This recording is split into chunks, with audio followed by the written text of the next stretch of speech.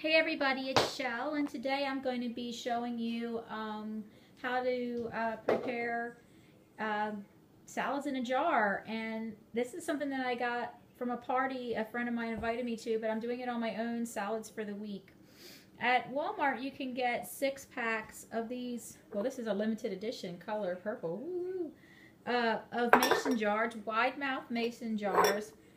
A six pack of these will cost you, uh, I think, between eight and ten dollars. And you want to get the biggest ones that you can uh, find there. But they come in a sealed pack and they're kind of over near the vacuums just to give you a hint in case you've never shopped for mason jars. But what we're going to do is we're going to make salads. And the first thing that you do is you get your salad dressing that you like whatever you want or none. And I have this light uh, raspberry walnut vinaigrette and I have already placed it in the bottom here. I don't know if you can see real well. It's kind of dark in the, in the house. But um, I've already placed it in the bottom, but you just put a little bit in the bottom there. And uh, in the bottom of each one, and it's purple, and the thing is purple, so you really can't see. But anyway, you put a little bit in the bottom of the jar. Make sure it's always in the bottom. And then we're going to begin to add our ingredients with our lettuce going last, okay? Our lettuce is going to be going last. All right, so what I have for my salad for the week is I have some red seedless grapes and I cut those in half. I've got some shrimp and that's just cold and I've uh, cut it in you know little bits. I've got some um, organic cherry tomatoes and I've cut those in half as well. And then I've got these organic shredded carrots which already come ready to go and some cheese. So we're getting our protein from our cheese and from our shrimp. So this is great. Plus it's a little sweetness with your grapes and um, your tomatoes are good and, and, it just is balanced. But you can pick anything you want to put in your salads. That's the great thing. Okay, so we're going to start off with, I'm going to start off with some carrots. We'll just put some carrots in. We're going to put carrots in each one. And you can be very generous. You can put as little or as much of each item. Just throw it right in the jar. And this makes a great party because what happened when I learned to do it, um, I was invited to a party and told to bring four jars and um, and I brought six. But I was told to bring four jars and uh, they uh, instructed me to bring two different ingredients and I did and there were stations that were set up. There was different stations set up with um, all the foods and we took our jars around and filled them as you wanted. All right, so that's plenty of carrots. All right, next I guess I'm going to go with some tomatoes. So we're just going to throw those tomatoes right on in there. This is getting redundant, I know, but I'm just trying to show you the ease of this. And I just got back from the supermarket, so like that's when you're you need to do it. Just don't even put it away in the fridge. Just go ahead and just get it done. Just get it out of the way. That way you only have to put away your jars. All right? And it only takes just a few minutes to cut this stuff up.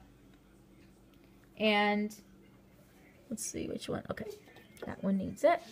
All right, so we've used all our tomatoes. Next, let's go ahead with our shrimp.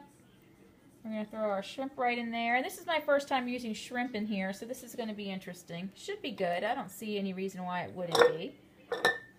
I'm a shrimp lover, and we all know the benefits of shrimp with very little to no calories. So shrimp is definitely our friend. So we're going to put all the shrimp in. Shrimp, shrimp, shrimp, shrimp, shrimp. It really doesn't matter the order. Now I'm going to do my grapes. Get those grapes in. I'm a grape lover. So I've got to get my sweet on. And this kind of keeps me from having a dessert. And I'm like one of those people that like as soon as I'm done eating a dinner, I need to have something for dessert. So I usually have some sort of fruit on hand all the time. Because I have to have oranges or grapes or bananas immediately after I eat something savory. I'm just, I don't know why, but I've never been able to quite break that habit. Let's see. Okay, that one needs more. And usually, like, I'll add, you can add some nuts in here, too, and that's usually good. All right, now we're going to do our cheese. And I do love my cheese. I'm going to go, we don't want to get too crazy because we want room for our lettuce. I'm going to save some room for our lettuce. Put the cheese in there. And I just got this three cheese, three cheese um, crumble. But you can get shredded cheese, and I'm making a big mess, and that's fine. Have fun with it. I've got three dogs, and they are more than happy to clean up this cheese. That's it. All right, struggle bus in.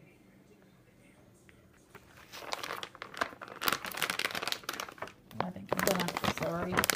It's hard to hold this thing a little bit. Anyhow, I'm finished putting this cheese in here. That way I don't have to put this cheese bag away either. The one thing I didn't use all of was the uh, carrots because there's a lot in there. Alright, so you can kind of see from the side here how that's building. And then you're going to get your salad greens. Okay?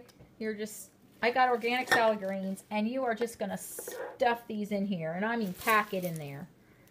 You're just going to pack it in there. Just ram it, just ram that in there. I really filled it up good. Yeah, there we go.